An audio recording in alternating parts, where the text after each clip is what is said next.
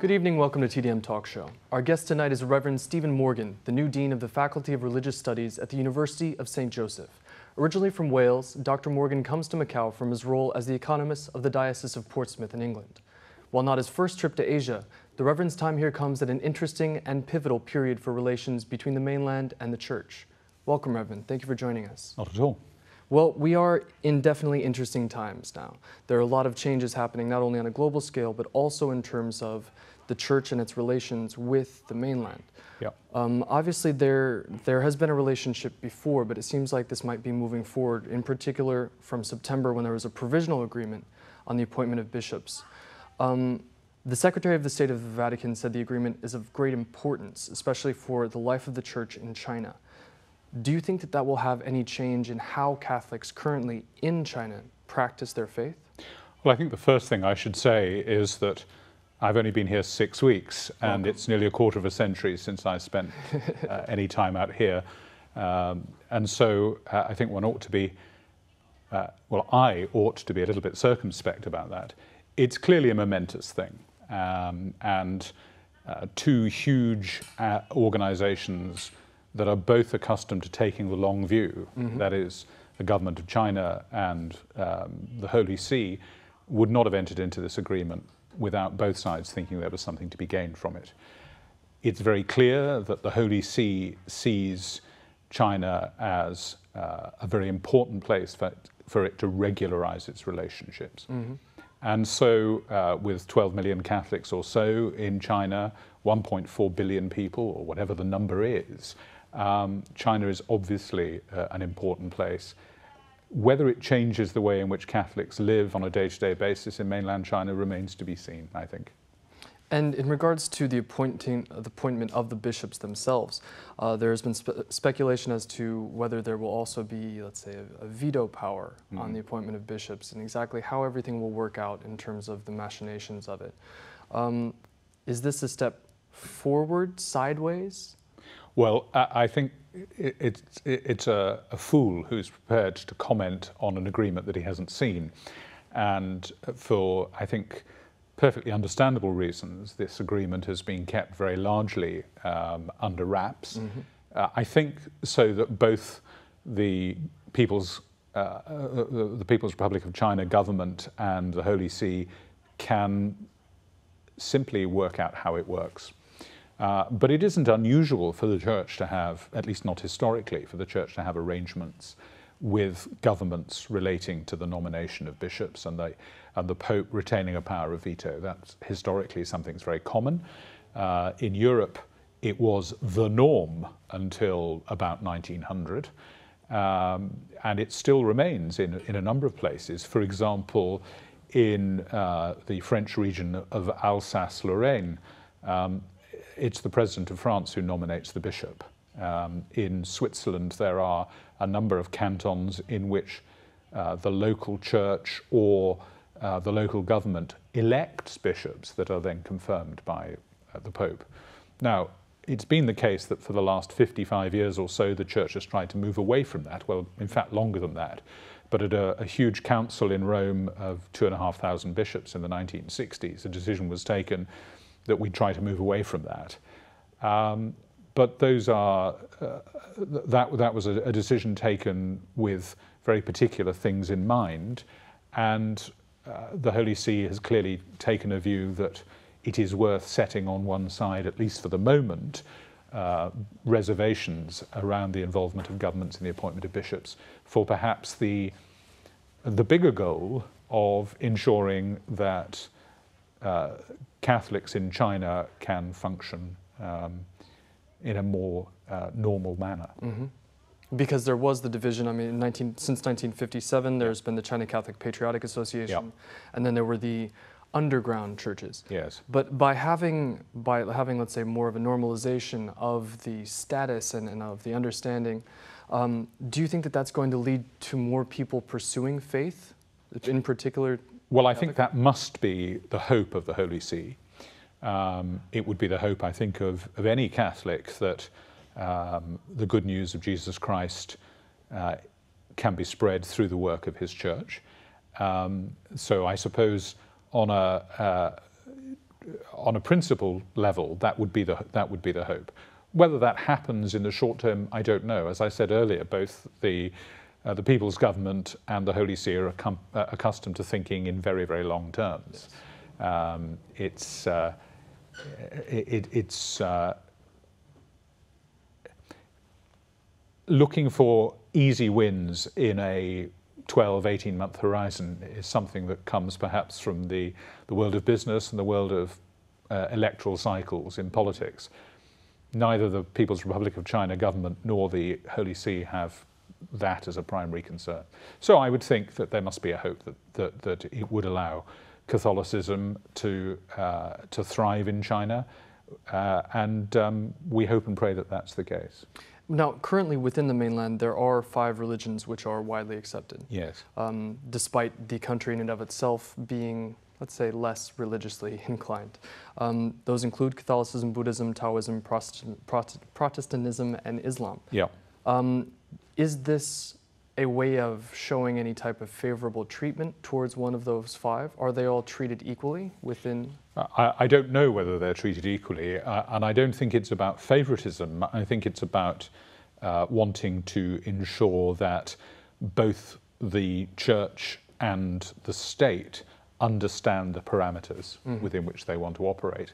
Now, Catholicism, in some respect, is easier to deal with than Islam or Protestantism because of uh, an assumption. We would call it. Um, we'd call it about the divine, the divine constitution of the church, that, that there is a unity uh, and that that unity is expressed through our ecclesial, that is, our church communion with the mm. Pope. And so, in some respects, we've got a kind of unified line of command, which is perhaps not there in those other religions. So, in some respects, it makes it perhaps a little bit easier. Mm-hmm. It's a little easier for um, people to get their heads around. But remember, China's had a guarantee of religious liberty in its constitution for 20 years, longer than that, 30 years now. Um, I think that's right. It may only be 20 years. Um, I think of the early 90s or the late 80s. Uh, and so it's quite natural in a country with so many people expressing different faiths for the government to want to understand the parameters uh, that religious organizations operate under. Uh, understand, but would that also say, could that also be expanded to set the parameters? Well, I think the state always, uh, and it, this is not uh, something that's um, uh, confined to uh, the government of the People's Republic of China. Uh, governments always want to uh, be involved in setting the parameters. Um, it, it's in the political DNA. Um, and uh, I, I, think uh, so long as freedom of religion and freedom of conscience can be accommodated within that, there's no particular reason to say that the state doesn't have the right to be involved in setting some of those rules. Okay. Uh, does that also mean that we're going to see a visit of the Pope to the mainland anytime soon? I don't know. Um, I don't know. Uh, the news in the last couple of days has been full of the fact that he uh, that, that uh, uh, it's desired, at least by the government of North Korea, that he might go to North Korea. Um, I, I, do, I, don't know. I seem I seem to remember that uh, Pope Paul VI went to the Korean Peninsula, but I might be mistaken. He certainly went to the Philippines. I, I don't know. The Pope is an old man. Um, I suspect he thinks uh, very hard about his travel schedule. And in regards to, in terms of recognition and in terms of obviously one thing, one of the phrases that we hear very commonly here is one country, yes. one country, two systems. Yes. Primarily focused on one country. In regards to Taiwan, that is another aspect of the church's relationship with the mainland because the Vatican does it's the only European state to maintain full diplomatic ties with the country, yep. with yep. the country of Taiwan, defined yep. as the country. Yeah. Does that mean that the Pope will visit Taiwan? Does that put, I mean, that obviously puts pressure on the mainland Vatican relationship. T- Taiwan has always been a, a, a difficult issue it's in some respects perhaps uh, evidence that the church moves very slowly and thinks in centuries, that um, the reason that the Catholic Church recognizes um, Taiwan is that it recognized Taiwan uh, at a time when lots of people recognized Taiwan. Um, and it hasn't yet accommodated itself to the change that the United Nations uh, uh, made in 1971. Now, 1971 um, seems like quite a long time, even to me. Um, it must seem prehistoric to you. Um, but in Vatican terms, it's not very long. Mm-hmm. We, we, should remember that Pope John Paul II and Pope Benedict both made it perfectly clear that they would be prepared to shift their recognition to the People's Republic of China as and when the conditions were right. Mm-hmm. Um, and I don't know whether uh, this is a step in that direction or not. I think it would be foolish uh, to, to speculate. Um, but clearly, um, when I was in Hong Kong in the, in the mid 90s, nobody really knew what one country, two systems meant. Um, 20 years on, we see it having worked uh, very well in Hong Kong and very well in Macau. Um, I suspect there may be a, a hope that um, by demonstrating that uh, the notion of one country, two systems can work, that the government of China can see, uh, again, thinking in centuries, perhaps some kind of regularization of the status of Taiwan as well. And if the Vatican is part of that process, I, I imagine uh, that would suit the government of China very well. In, you mentioned Hong Kong, and, and, you were in Hong Kong from 91 to 95. Mm, yeah. Um, did you, do you see any kind of change within the, the religious uh, landscape of Hong Kong in between then and now? Well, I haven't seen much of Hong Kong since I've been back this time. Um, uh, because I've been very busy here. Mm-hmm. Um, and uh, I rather thought I might be whizzing back and forth rather more frequently, but I, have got quite a lot to do, and I'm, I'm, I'm very happy about that. Both places feel slightly different, mm-hmm. um, uh, but they don't feel so radically different that uh, fr- from how they felt a, a, quarter of a century ago, uh, that one wouldn't be able to uh, say, yeah, that's what Hong Kong's like, that's what Macau's like. Um, the religious climate in Hong Kong has always been very distinct from its political climate, and I think um, we've watched from Europe, we've watched the political developments in, in Hong Kong with uh, a, measure of, well, a measure of interest, of course, having been there for such a long time. Well, not such a long time, but some time a long time ago. Enough to make a mark. Well, yeah, okay. I was quite a lot younger too, and it seemed longer in those days. Um, uh, we've watched the politics um, with a measure of concern. Mm-hmm. Um, and of course, um, the church because the church is grounded in any society it operates in, it's not immune from that. But I don't sense that the religious climate in Hong Kong has changed markedly, and I don't think the religious climate here has changed markedly. I mean, Macau uh, has a very long history of um, religious pluralism and religious freedom. Uh, the Catholic Church has been operating in Macau for 450 years. Uh, it's a significant part of the, uh, the culture, uh, the history, and the, the life of, of the city, uh, the, the, life of, uh, the life of the territory. Um, uh, and I, I, I, don't sense that that has changed radically. Which, but that's, we are in both our SARs, they're still special administrative mm. regions. They have their own framework, currency, yes. yep. and political structure. Um, but we're seeing an increased pressure on the application of the mainland's, let's say, will within these SARs. That, does that not seem slightly at odds with, let's say, the opening up that the mainland is demonstrating in regards to this new treaty with the Vatican? Mm. It's not something I've sensed actually since I've been here. Um, I think if you'd asked me 20, 20 years ago uh, what extent the mainland would be seeking to exercise its influence in these SARs 20 years on, I would have anticipated it would be much greater than it is. Um, there is, uh, with the opening up of China, uh, and, and it, it's now, I'm trying to work out, it's now nearly 30 years since uh, China started to open up quite dramatically. There is bound to be a change in, in Chinese society, and we've seen that. And those societies around it are bound to be influenced by that, both in terms of China's political will uh, but also simply in terms of its economic weight yeah. uh, and its cultural influence. And uh, to think that somehow or other Macau or Hong Kong could be insulated from that, I think would be naive. Yeah, we, we are certainly feeling a certain type of, of change and, and let's say a progression in terms of how the relationship is established.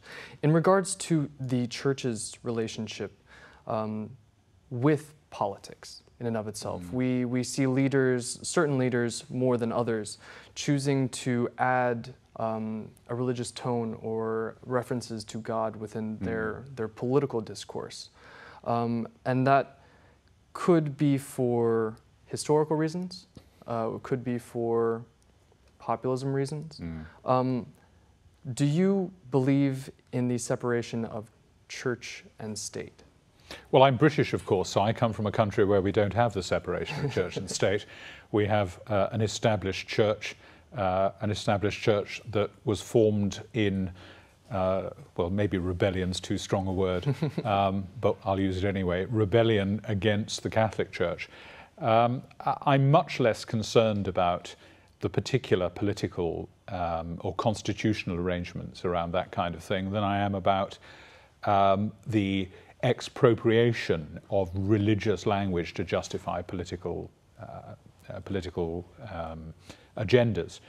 Th- There is a long history of that happening in some countries. Certainly, some of the use of uh, of religious themed language, for example, in American politics, is something that strikes a very strange note to a European ear and to a British ear particularly.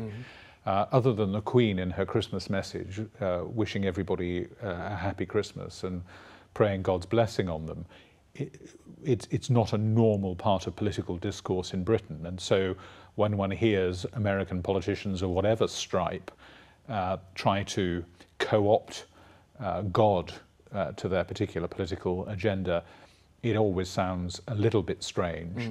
Um, it, and it, perhaps in some respects, uh, rather distasteful. Um, uh, I almost feel like saying, well, perhaps you know these arguments ought to stand on their own without the appeal to the authority of God to back them up. But different countries have different cultural expectations, and um, there is a long history of American, particularly American politicians, um, using language that is either explicitly or implicitly evangelical.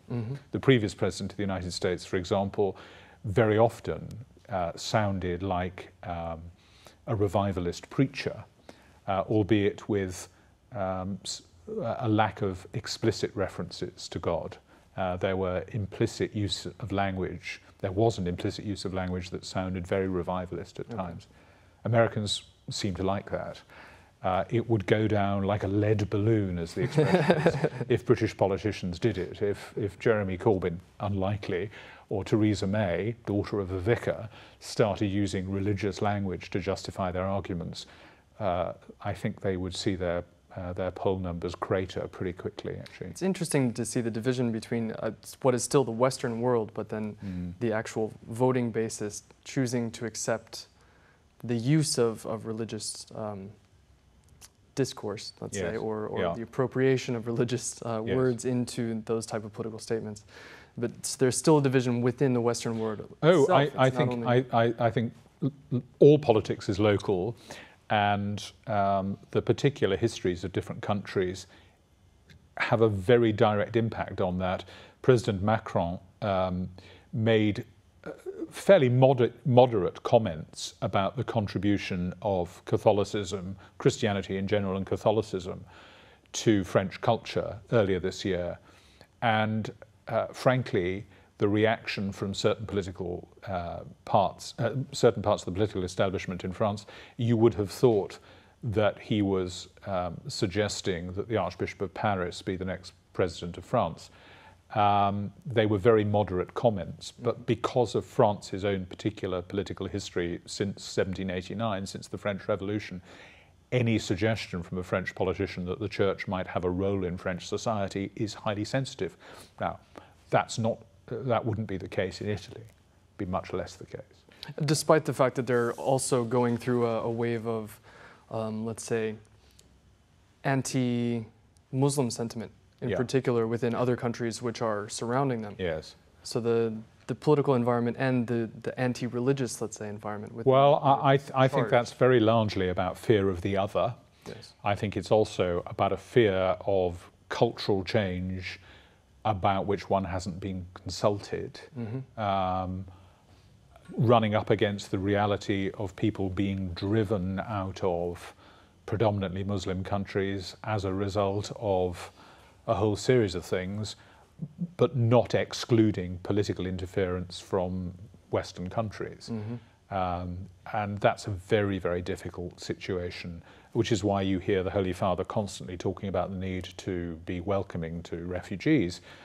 Whilst, at the other hand, um, good Catholics and good Christians in Europe being profoundly worried by um, an Islamification, as they sense in, in, in, some places, I think it's very largely over, uh, overstated. And it's not with, it, it doesn't go without comment that, for example, um, the European country with the lowest number, absolute, and pretty close, I think, to the lowest number uh, proportionally of Muslim immigrants is Hungary, which is the country that seems to be making most noise about the threat.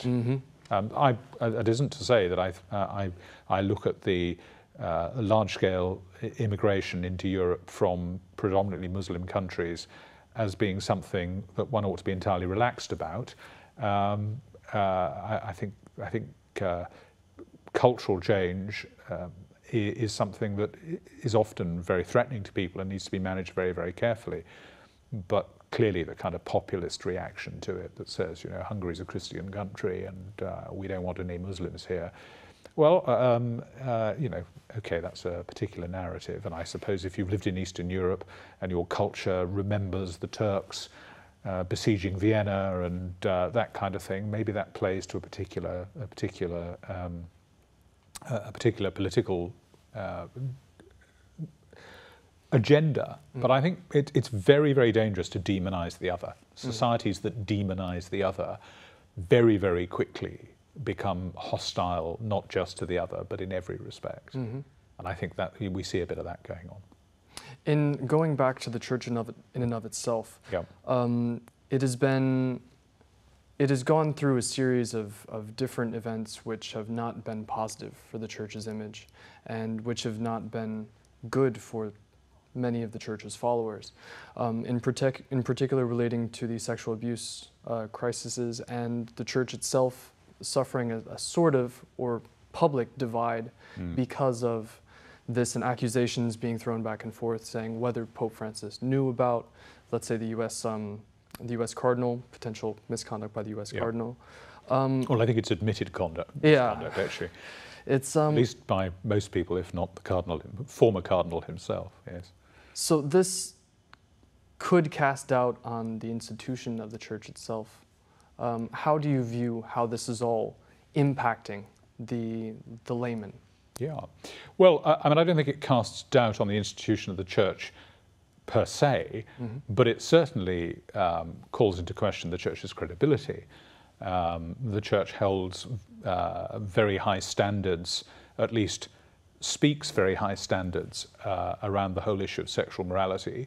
And then when significant individuals in the church betray that, and more importantly, when they damage the vulnerable, children, the, the people who are in otherwise vulnerable, people who are in positions of, for example, uh, on the on the on the bottom side of a power dynamic, when people abuse those positions, um, that's bound to uh, call into question the credibility of the organisation.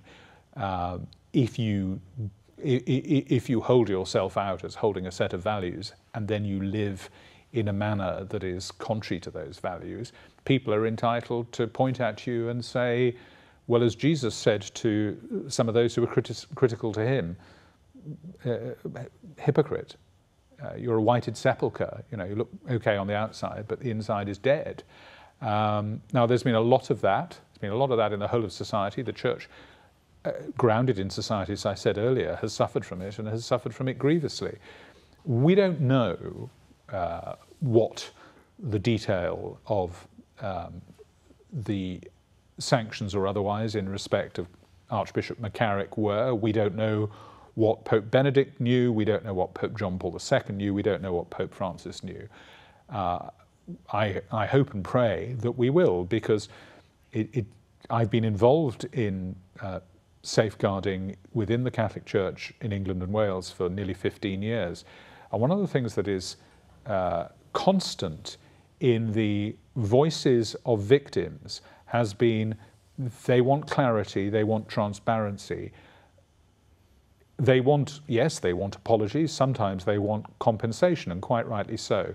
But what they want most of all is to know that this isn't going to happen to somebody else. Mm-hmm. And actually, the only way that that's going to happen is if people are transparent, if they don't think first, how do I save the reputation of the organization, yes. but in fact think, what is the right thing to do for the victims and the survivors of this kind of abuse? It doesn't matter who's committed that abuse, and the higher up the tree they, they are in the church, the instinct should simply be to say, well, I don't care if you're a bishop, an archbishop, or a cardinal, you're subject to the same rules as everybody else. I was in the US doing business a great deal around 2002. In fact, I was in Boston when the, the story about Cardinal Law broke, and it was a very, very uncomfortable place to be. Uh, I was in a bar, uh, not far from the Cheers bar, actually, mm-hmm. uh, and a lot of conversation going on about it. And there was a chap at the bar who said, Look, uh, people have always done bad things. Uh, I don't really mind that people do bad things. Okay. What I do mind is when people in authority cover up yeah. for people doing bad things. Mm-hmm. That's the real scandal. Now, is this does that mean that it is something, as somebody who has been involved in safeguarding mm. and, and trying to internally fix the mm. problem, is it something that can be only fixed from the inside out?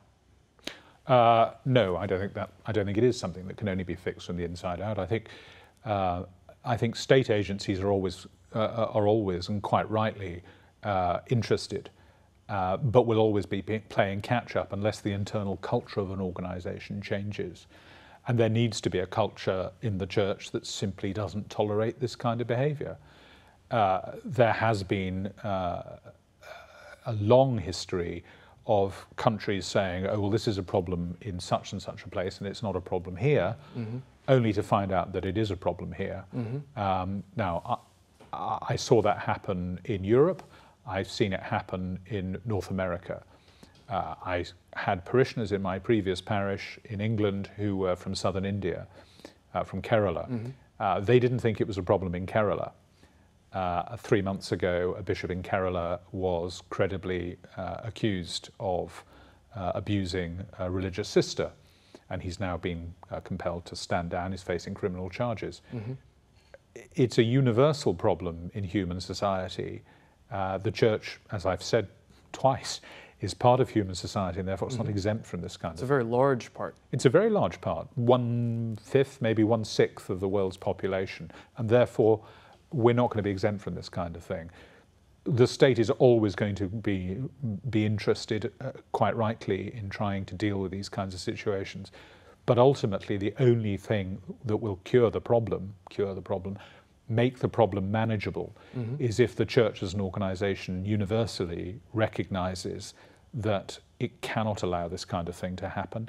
And when this kind of thing does happen, it has to have sound instincts about how you deal with things like this. And transparency of process, as we know from uh, business, we know from politics, transparency of process is, is usually a guarantee that the powerful aren't able to exercise uh, unfair advantage over the weak. Mm-hmm. And I think for all the argument about what is at the heart of the sex abuse crisis, one thing is pretty much agreed uh, by anybody who's ever been involved in it, and that is that it involves a power dynamic as much as anything else. I mean, there are clearly uh, there are clearly sexual ang- angles to it, and, mm-hmm. and we can't get away from that. We can't get away from the fact that something between 85 and 90 percent of these uh, acts are uh, acts of male on male sexual aggression. But I think most people would recognize that uh, at the very heart of it is a, is, a, is a power dynamic being played out with a particular appetite, a damaged appetite, sure, but a mm-hmm. particular appetite. And the way you deal with power dynamics and you ensure f- fairness and freedom in those situations, I think, is by clarity, by transparency uh, and by a situation in which no one is above the law. Yes. Now the the church is visibly through this through the series of, of incidences that, that have come out publicly so far, um, its reputation has seen damage, has mm. seen people stepping back from the firm belief that they might have had in the institution and of itself. That being said, um, even though coupled with technology and coupled with um, more distractions, there seems to be less of a focus, let's say within the past five decades, on people being more religiously minded. That being said, within, let's say, more of the Western, the Western world. But I believe that you yourself said something in regards to Asia, that um, oh yes, that it easier, to, to, be, be optimistic, about, about the, the church, church, in Asia. Asia. In, in Europe particularly, we have 2,000 years of Christian heritage. To be fair, China's Christian heritage goes back at least 1,400 years, but we have 2,000 years of a culture that became first predominantly and then overwhelmingly Christian. Mm-hmm. And it isn't difficult to be reminded of that. Mm-hmm. Um, if you travel around, for example, Belgium or the southern Netherlands, you see churches everywhere. Mm-hmm. And yet, last week, the Archbishop of Utrecht, Cardinal Eijk, announced that uh, he was going to be disposing, demolishing 90% of the churches in Belgium, uh, in his diocese. Uh, he'd be left, I think, with 27 or 28 in a diocese that had nearly 300, because people have stopped practicing the faith and they've stopped practicing the faith because they've stopped believing the faith. Now, um, we don't have the time and I don't have the expertise to be able to talk about that it, it, sensibly. It's just an observable fact. Mm-hmm. Uh, and therefore, it's easy in Europe to think of Christianity in retreat. It's less difficult to think of that where Christianity is a minority religion and yet expanding quite quickly. Uh, the students that I teach from uh, East Timor, from mm-hmm. Myanmar, from Vietnam, are from churches that are young. Mm-hmm. Uh, they're, they're, they're young in the sense that they haven't been founded very long, but they're young in terms of uh, the age of their people. They're full of uh, love of the Lord.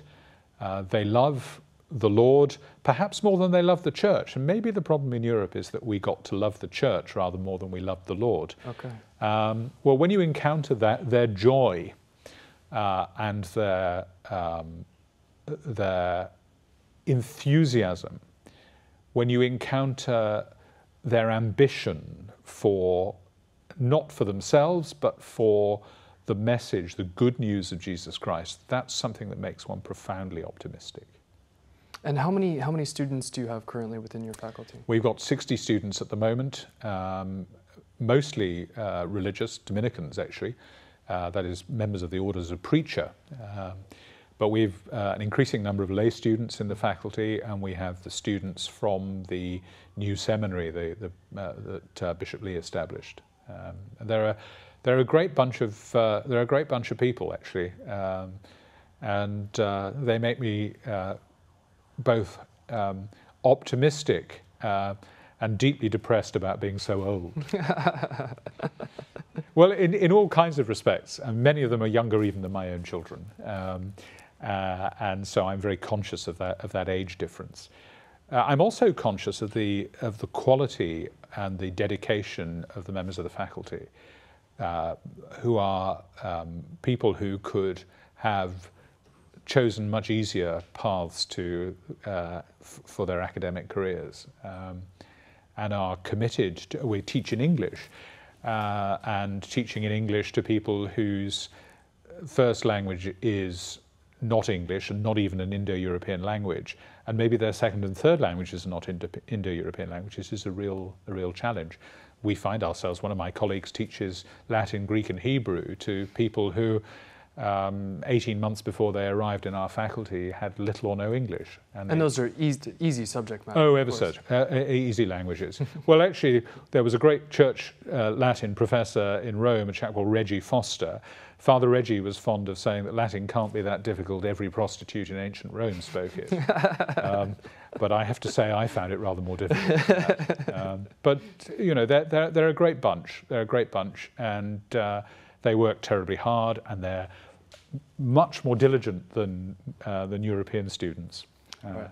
I haven't yet had to chase them for their assignments. Yet, yet. We'll see how they go. Uh, well, they apologize. they apologize even if they're early with their assignments. so uh, that was not my experience in, in Europe. Well, I'm, I'm interested to see how they progress and welcome to Macau. Thank you. It's a pleasure to have you and thank you again for being on the show. Not at all. Thanks very much. We'll be back again next week with more TDM Talk Show. Thank you for joining us. Good evening.